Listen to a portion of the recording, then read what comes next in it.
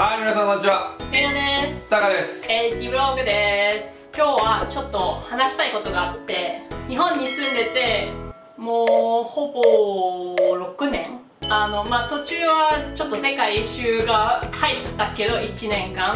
まあほぼ6年ぐらいドイツには住んでないっていう話で、たまに帰ってるたまに帰ってるけど 日本に住んでて本当に恋しくなるドイツのものがいくつかあって。そりゃそうだよね。6年も自分の国を離れてたら恋しくなるよね。ちょっと皆さんと今日シェアしたいと思います。みんなが思ってるのが多分食べ物でしょ？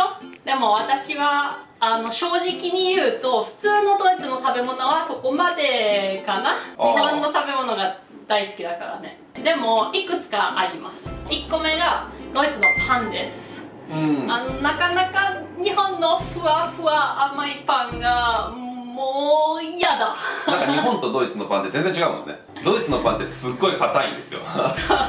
そうそうそうカッチカチだよね。あのちゃんと噛まなきゃいけない。そうそうそう。顎が壊れるんじゃないかっていうぐらい硬い。まあ今は冗談だけど本当にね硬いんでも。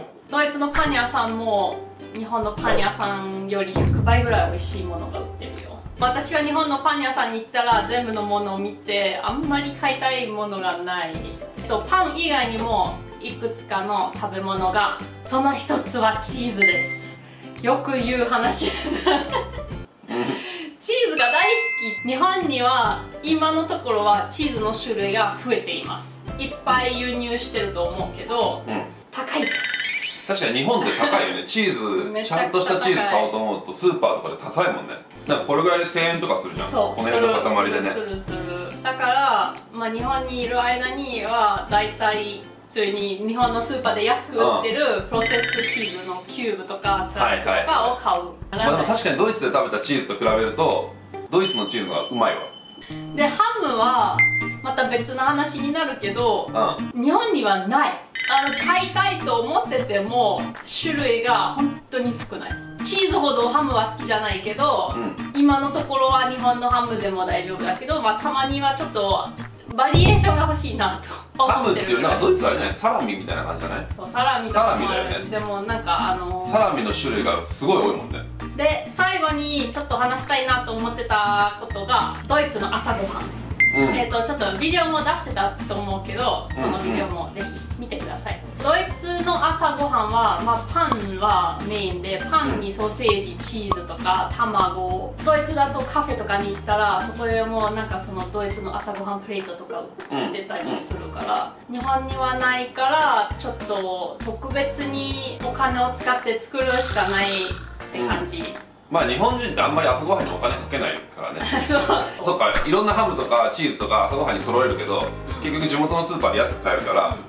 でも日本でそれやろうとするとお金かかるからなかなかできなくて恋しいってことね。そう。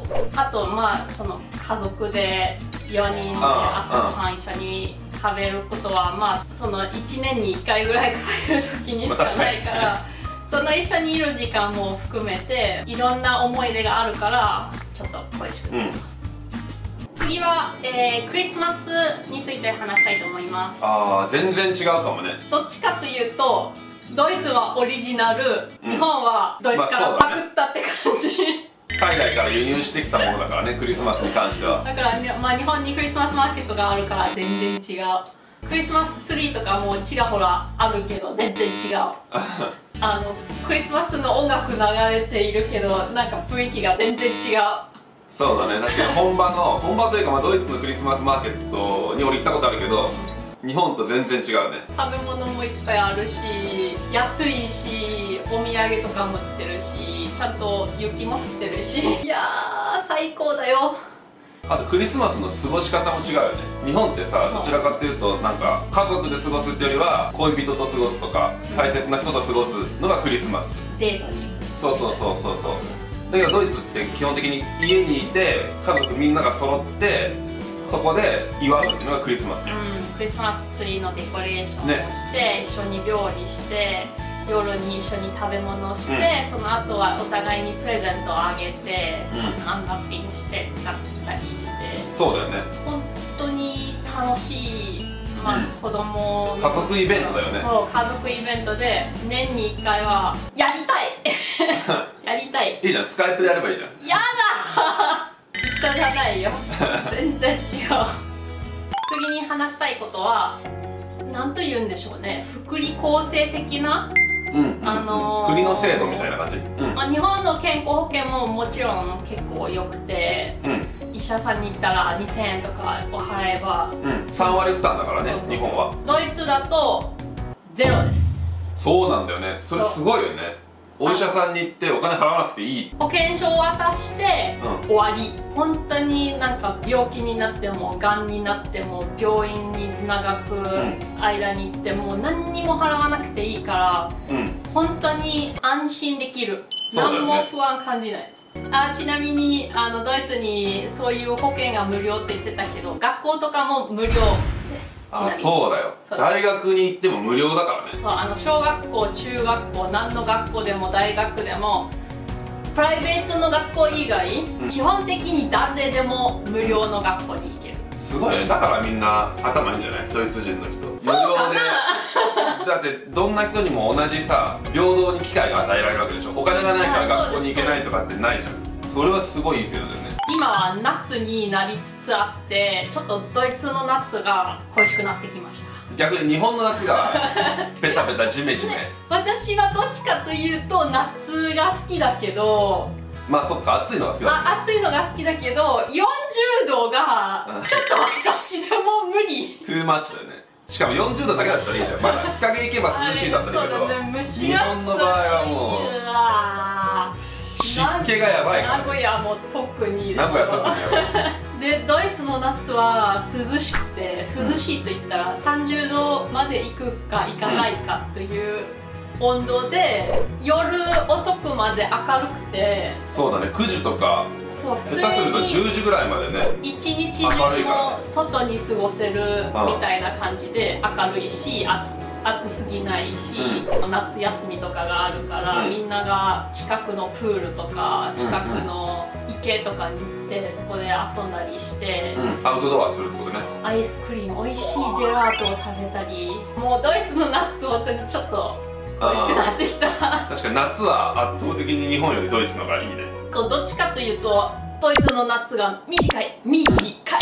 うん。日本みたいな6月から10月までは夏みたいな感じじゃなくてこう6週間。うん。暑いのが苦手な人はドイツに移り住んだ方がいいかもしれない。そうかもね。でも逆に寒いから冬とかねかなり。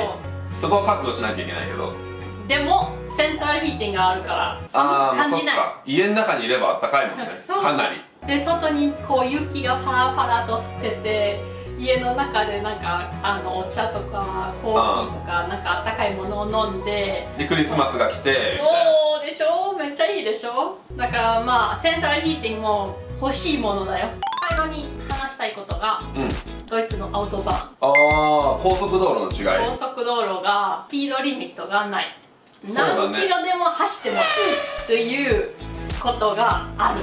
自分では運転しないけどうん。助手席に座っても200キロザーっていくのがめっちゃ楽しい。だって日本だとさ最高で走れても120キロとかでしょ多分。法それは定速多分どこの度国でもそれぐらいだよ。でもドイツだとそれがアンリミットだから一回アウトバーンも走ったじゃん。ああでビデオあります見てください。150キロとか160キロとかで真ん中のレーン走ってね。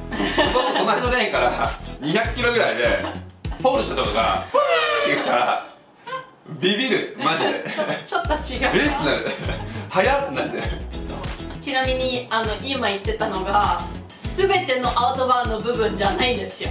ああそうだね。のこう決まってるところでスピードリミットがなしになってるよく見えるところとか安全なところでスピードリミットがなしになってる。そうだね。だから日本から旅行に行って 向こうでレンタカーとかする人は気をつけた方がいいと思う。ちあゃんとのちゃんと標識見ないとどこでも無制限で走ってると警察に捕まっちゃうんで。そう、ね、今この話をしてドイツめちゃくちゃ恋しくなってきたよ。そうだね。ちょっとだけでもそんでもいいんじゃない？これでこのビデオが終わりになります。私のドイツの恋しくなってるものをいくつかピックアップして喋ってもっと恋しくなってきた。そうだよね。別にそれで良くなってない。喋ったら良くなるのかな？ってもっと恋しくなるでしょ。もっと恋しくなりました。今からチーズを買いに行きます。いってらっしゃい。1000円2000円のチーズを買いに行きます。ケチだからどうせ買わないからねこのビデオが面白かったならぜひ高評価お願いします。まだサブスクライブしてない人はチャンネル登録よろしくお願いします。3日後に新しい動画がアップされるのでその次の動画でまた会いましょうバイバーイ。バイバーイ。